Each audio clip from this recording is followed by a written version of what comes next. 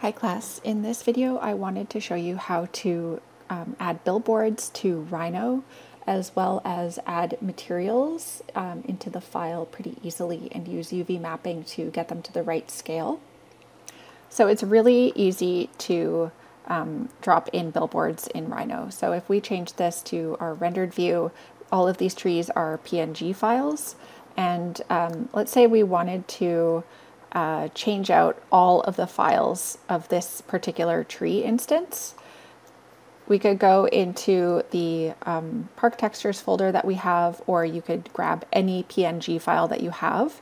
And let's just say we wanted to replace all of these images. We could just drag another one over top and it's going to automatically update all of those files in the Rhino document. So every instance of a, um, a PNG file is the same. It's basically a component. I'm just going to undo that because I don't want to actually change all of those trees. I just wanted to show you what would happen if you had something that is a PNG file selected and you dragged in a new PNG, it would update all of those files. So when you drag in a PNG, you want to make sure that you're not, um, you don't have anything else selected. And then, for example, we can go into um, that same park textures folder and let's say we want to add um, this grass file here. We just drag it and drop it here and it will bring up this image options dialog box and we're just going to bring it in as a picture like that.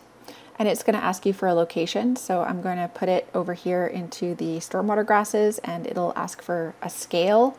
Um, so I'm just going to select a size that makes sense maybe around there and now if we look at this file, we can see that it has been dropped in as a PNG.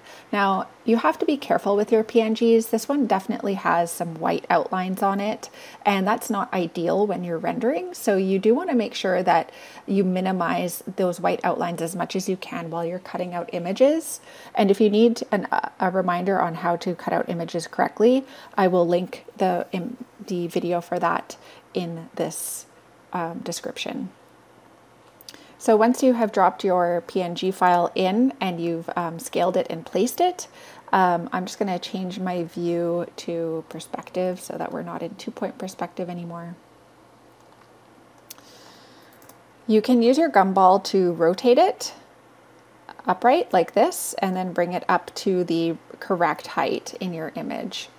And remember to use the face camera command if you want to turn um, all of the images um, towards a certain orientation to your camera.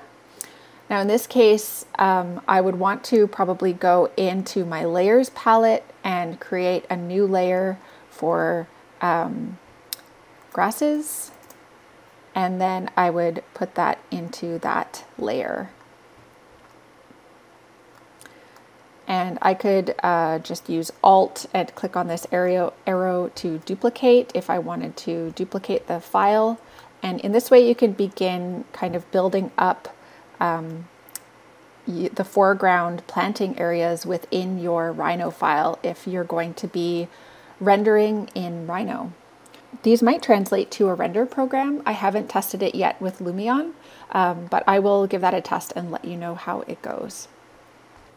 So of course you can add in people as well. I'm going to go into one of my people folders here and just um, select a file.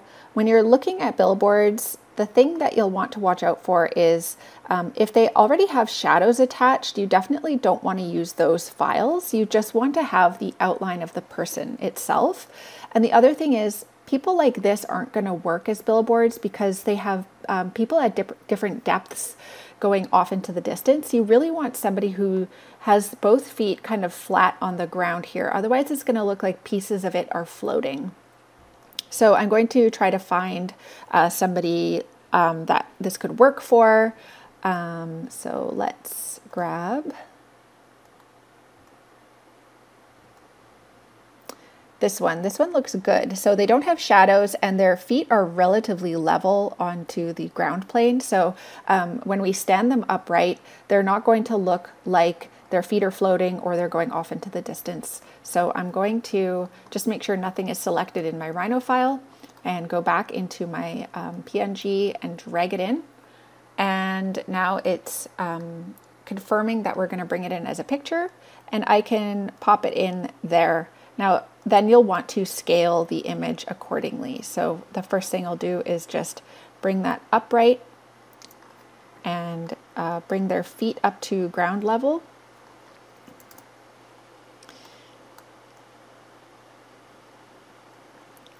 And then I can use a, um, a guiding line to measure the height of these children. So um, I can't remember which units I'm in. So, okay, I'm in feet. So probably this one is a, about three feet tall. So I'm going to draw a line, um, L for line, and then V for vertical.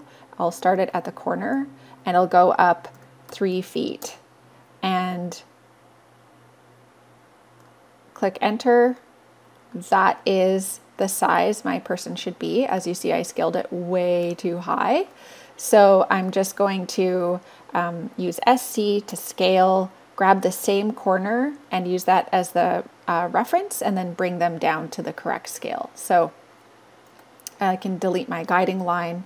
Um, now the people are at the right size for this image and I can move them around. Okay, I've zoomed back out to uh, this wider view and I just wanted to show you how easy it is to do some basic material mapping in Rhino. Uh, so it's really just as easy as dragging and dropping, just like the image files or the PNG files. Let's just grab this um, light green grass file here and um, I'm going to just drag it in. And again, it's gonna ask us what we want and I'm gonna just select material like this, okay? And I want to go to my materials.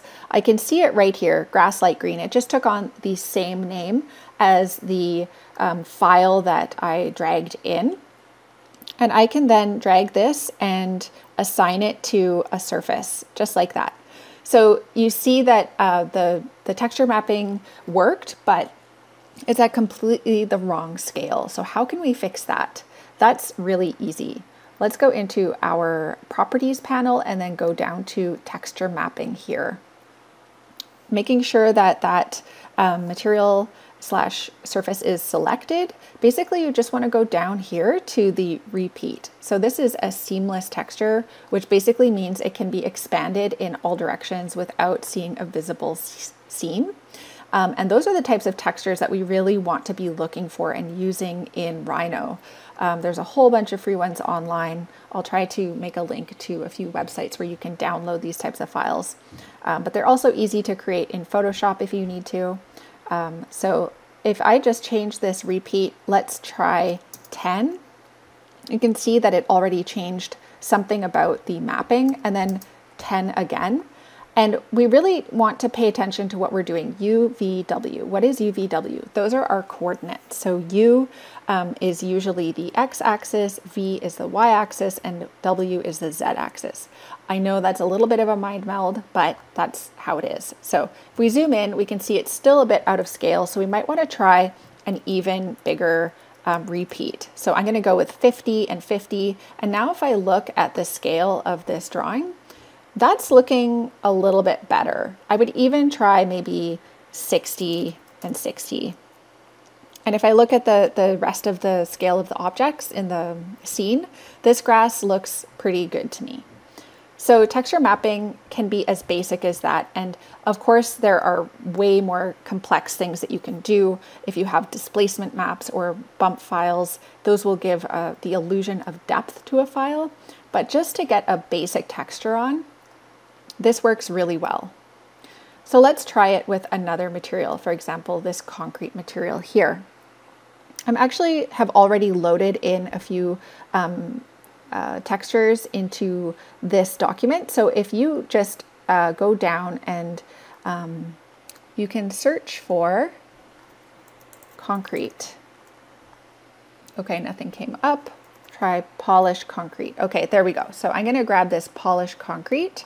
It's already in the file and I'm just going to assign it to that. And again, you can see it's a little bit out of scale, so we probably need to change the texture mapping. And that's already looking better, but we can go, I think, even smaller. And now we can see this texture shows up as a concrete curb within this document. So um, we can take our Rhino files and do a lot with them with materials right in the document itself. We don't even really need to move to a separate rendering program. And you can keep going and looking for um, texture files that would fit the uh, scene that you're trying to create. So if you wanted to add sand or mulch or different types of planting, um, you can go ahead and do that. If you wanted to add a different paving material to the paths, um, those will be a little bit more complex because they are curving. So I would be cautious about using uh, like um, really detailed uh, paving maps. Um, but your sort of average cobble or concrete paver should work pretty well there as well.